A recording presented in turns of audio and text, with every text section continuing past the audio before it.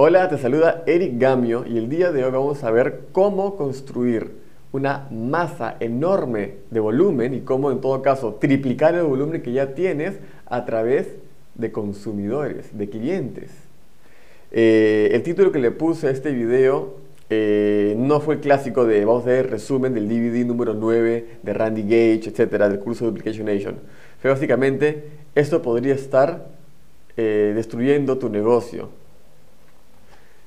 Randy Gage escribió este curso, eh, dictó este curso, que son básicamente 12 DVDs de una hora cada uno más o menos, y siempre ha sido muy, muy, muy...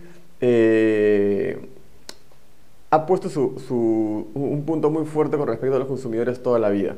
En sus libros, en hacer que el primer círculo funcione, la máquina de hacer dinero multinivel, el, manifiesto de Randy Gage, Duplication Nation, este curso ya de DVDs, siempre habla sobre el concepto de los consumidores.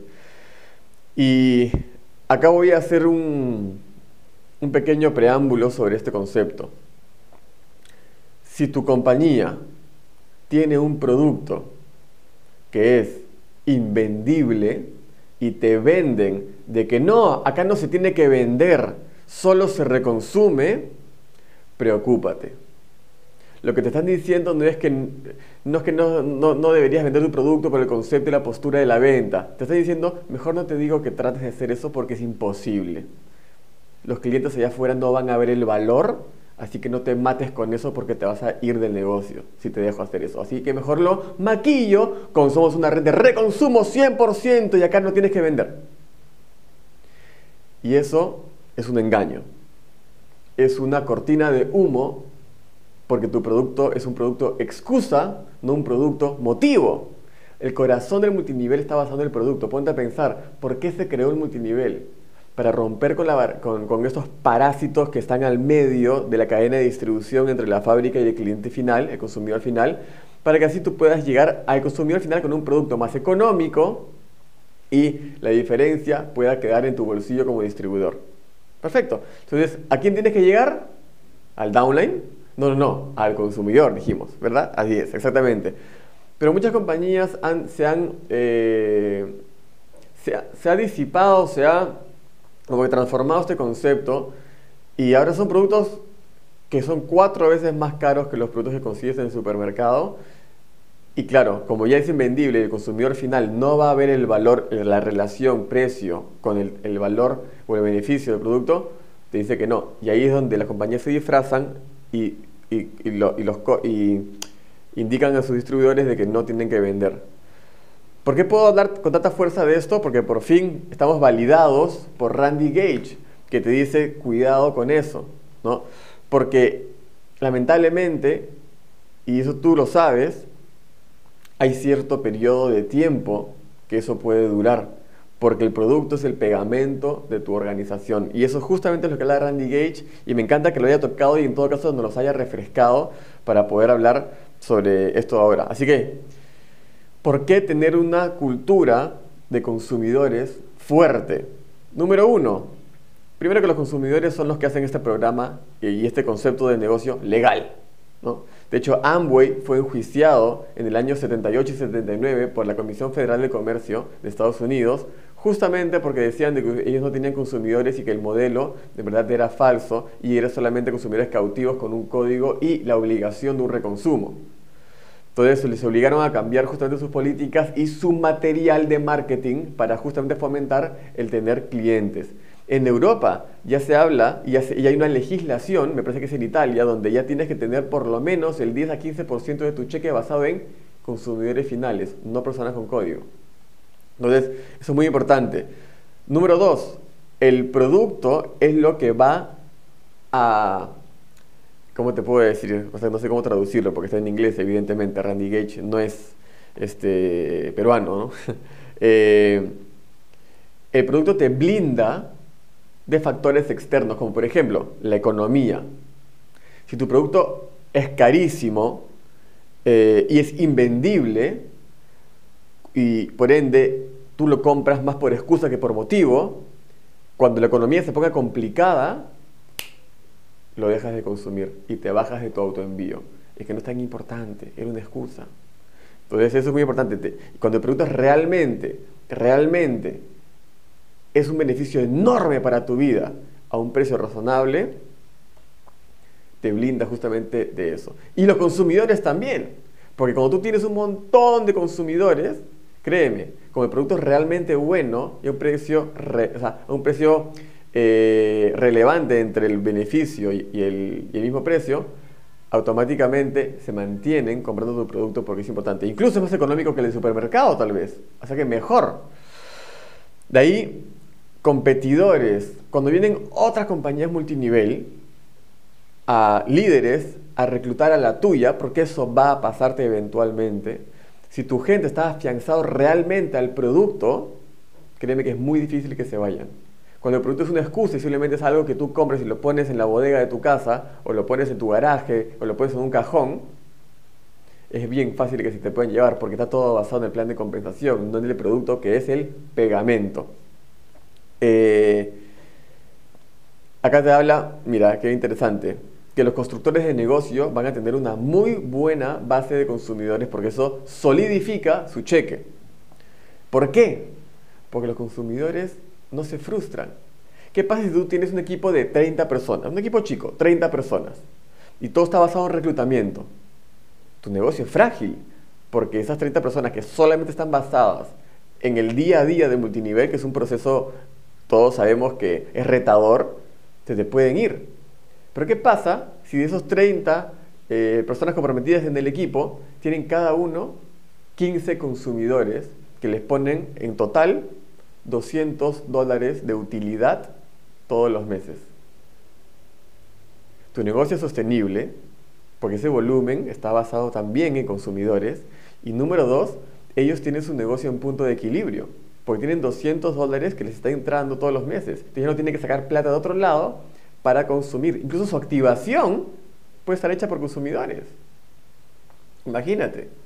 Entonces, eso solidifica y puede ser un seguro de vida para tu organización y sobre todo para la retención de cada uno de tus downlines, para que puedan tener más paciencia, porque cuando tienes 200 dólares ingresando todos los meses, netamente de consumidores, si todavía no patrocinas a alguien en un mes en dos meses o hasta tres meses, como me pasó a mí siete meses, créeme que ese dinero los va a poder sostener y se van a quedar en tu equipo para que puedan ser los diamantes que tú quieres.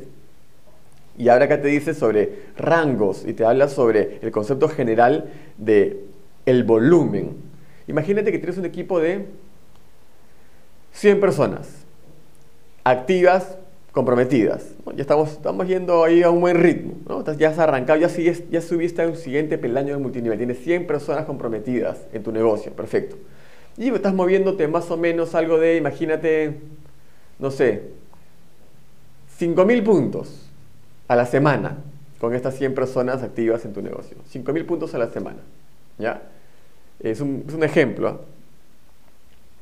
Solamente basado en reclutamiento.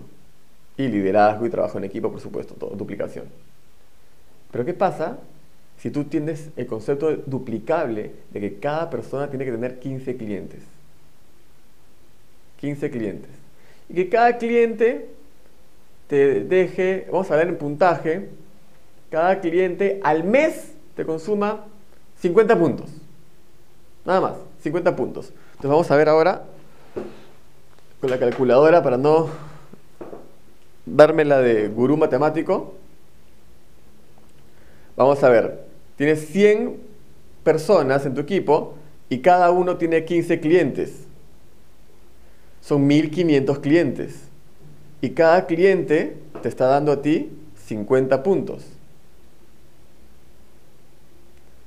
Son 75 mil puntos.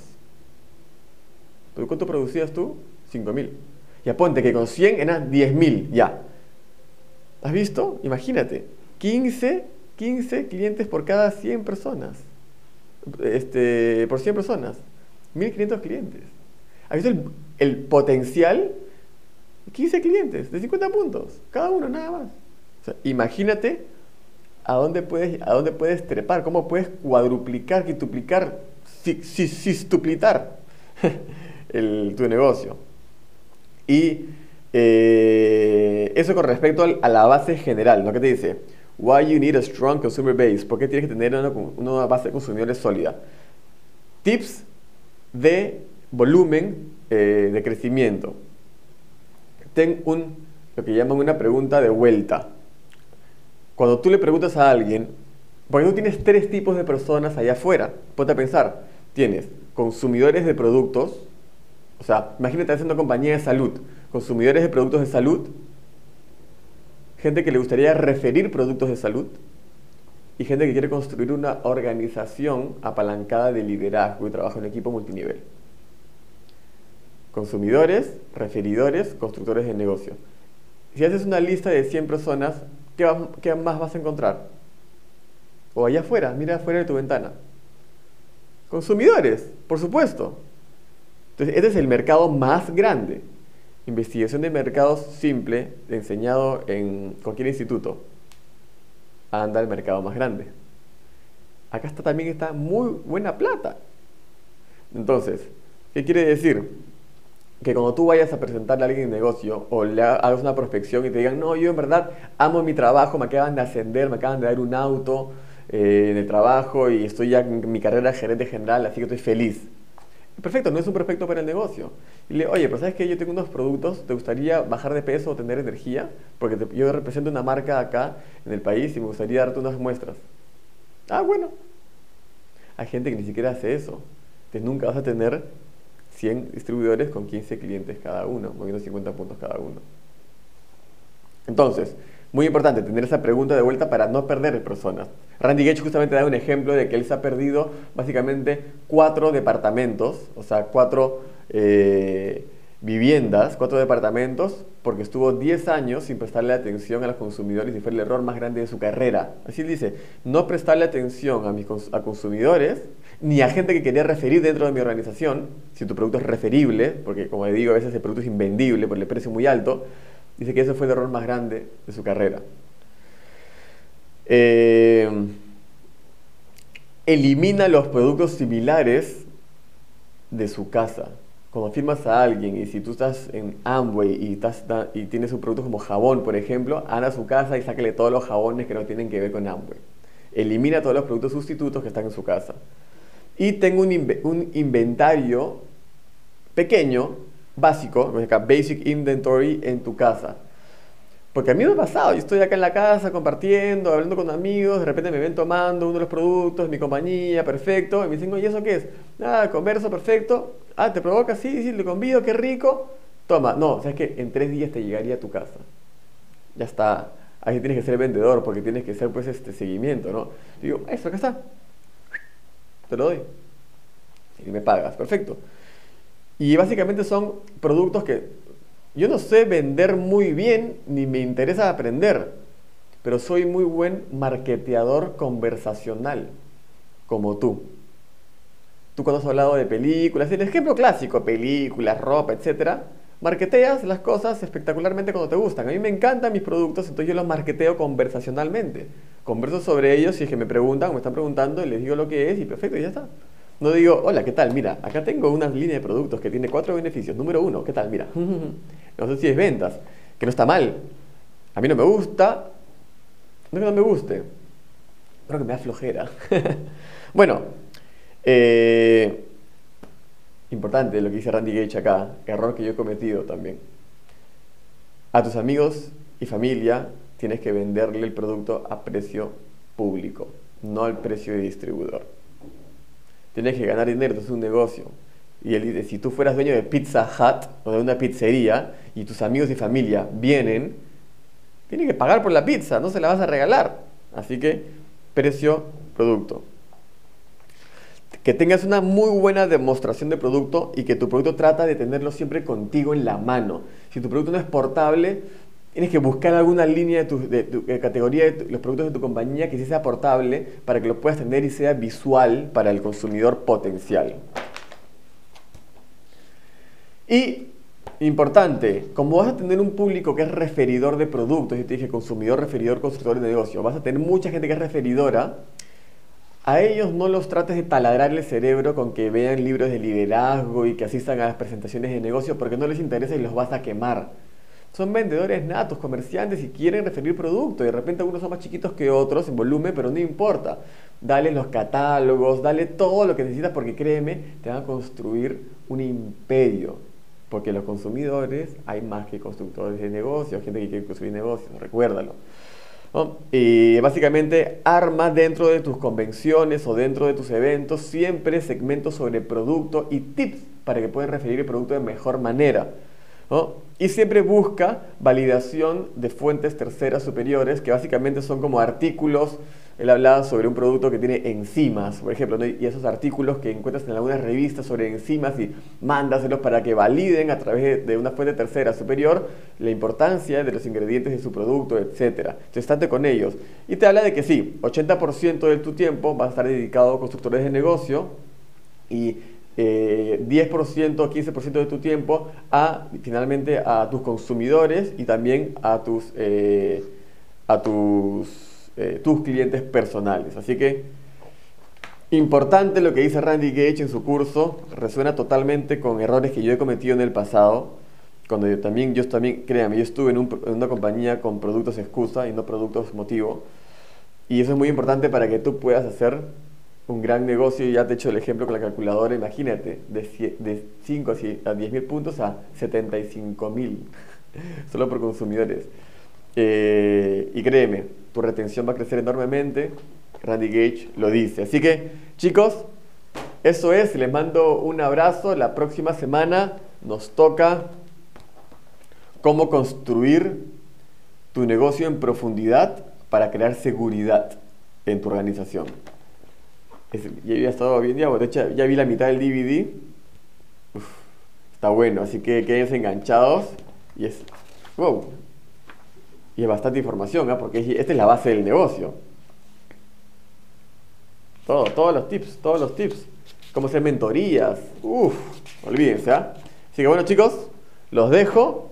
Eh, si es que es la primera vez que ves este video o estos videos, entra a mi blog, a ericgamio.com y vas a poder encontrar no solamente todos los otros videos, los, otros, los primeros ocho videos de Randy Gage, sino también te voy a regalar un curso de tres días y lo vas a encontrar al frente para que puedas tener más prospectos para tu negocio multinivel. ericgamio.com te dejo para que puedas entrar para allá y te diviertas y aprendes en esta linda profesión de marketing multinivel. Un abrazo grande. Chao.